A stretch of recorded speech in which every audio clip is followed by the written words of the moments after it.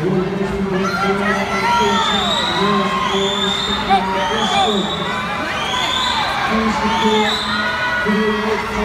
you.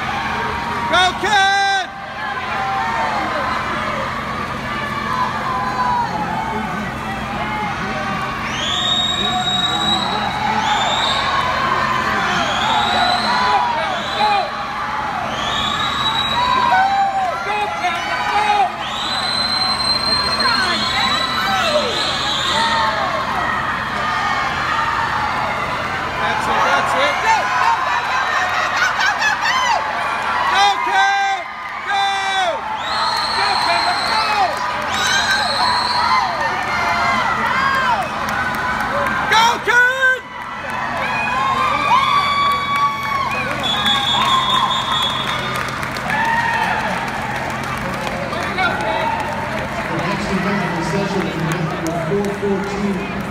The boys 100 freestyle.